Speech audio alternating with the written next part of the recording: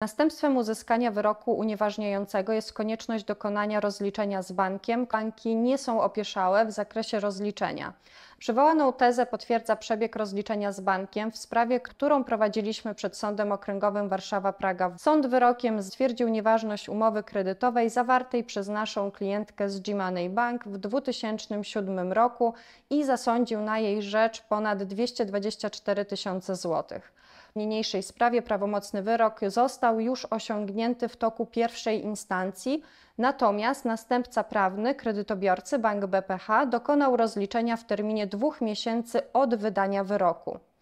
Mając na uwadze bogaty dorobek e, naszej kancelarii, należy wskazać, że zarówno sam proces sądowy, jak i rozliczenie nieważnej umowy nie musi być dla kredytobiorcy procesem żmudnym i czasochłonnym. Współpraca z bankiem na końcowym etapie sporu przebiega zazwyczaj polubownie,